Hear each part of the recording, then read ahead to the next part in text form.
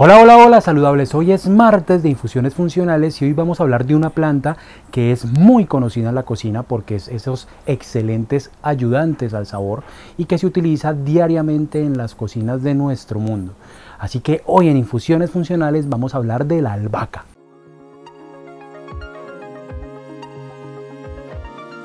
La albahaca es una planta aromática muy utilizada a nivel mundial principalmente por su olor y sabor. El olor, al ser una planta aromática, proviene de aceites esenciales que son muy importantes para la salud.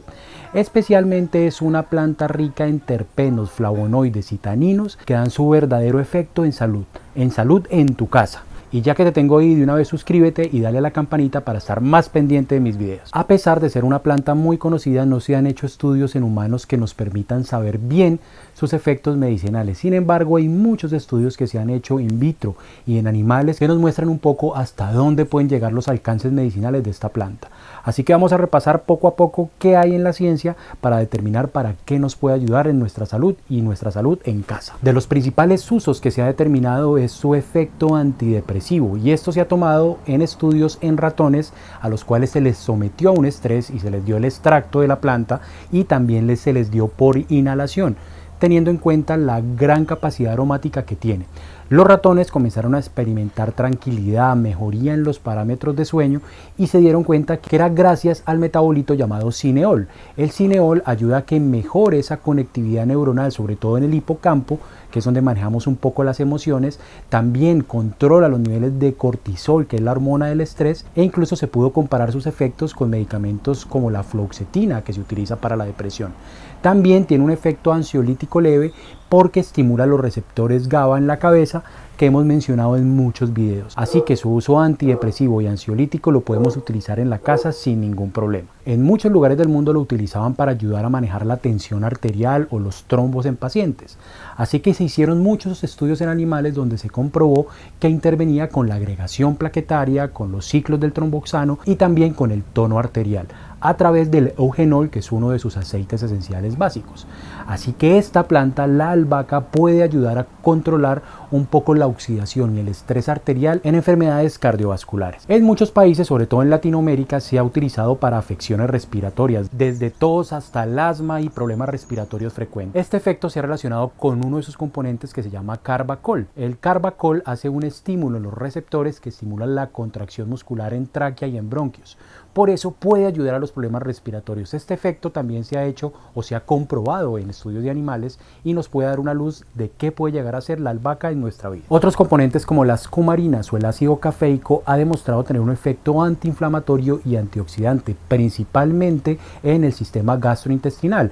De ahí nació el único estudio en humanos que se ha hecho, que fue en pacientes sanos, donde se les daba extracto de albahaca y notaban una disminución en la llenura después de haber comido efecto que se extendió al colon irritable o patologías del sistema gastrointestinal. Aquí es donde vemos que hay un gran uso que podemos darle en nuestra casa al alcance de una pequeña infusión. Y finalmente esta planta también tiene ácido rosmarínico, del cual hemos hablado en muchos videos, que tiene un comprobado efecto analgésico y antiinflamatorio que puede ayudar a enfermedades crónicas como artritis, artrosis o incluso para traumas o dolores crónicos que tengamos. Así que en estos efectos podemos resumir lo que puede dar la albahaca en tu vida y sobre todo en tu salud. En resumen, saludables, la albahaca es una planta aromática de muchos usos a nivel culinario y también nos puede ayudar a nuestra salud. Por estudios y por lo que encontramos y sobre todo por sus metabolitos, podemos asociar que puede ayudarnos a problemas digestivos, llenura, gastritis y complicaciones de nuestro estómago y de nuestros intestinos. Ayuda a mantener la funcionalidad del sistema digestivo en su totalidad. También puede ayudarnos a mantener nuestro sistema cardiovascular óptimo, sobre todo cuando tenemos problemas de tensión alta, podría ayudarnos a mejorar esas pequeñas crisis que nos pueden dar en casa. También puede ayudar a mejorar tu estado de ánimo, sobre todo cuando tengas algo de ansiedad o sensación de depresión, a través de sus metabolitos puede ayudarte a que estés más tranquilo y a que puedas llevar mejor la situación que tengas que vivir. Y finalmente para prepararla es muy sencillo, vas a calentar una taza de agua y vas a poner alrededor de 5 hojas cuando es la albahaca de hoja gruesa, cuando es la de hoja pequeña puedes poner alrededor de unas 10 hojitas. Eso va a liberar los principales componentes activos de la planta y va a ayudar a que tengas todos los beneficios de salud en tu casa. La puedes tomar máximo tres veces al día y recuerda no pasar de cinco días seguidos su consumo. Siempre es bueno descansar. No ha reportado ningún efecto tóxico importante, así que la puedes tomar con tranquilidad.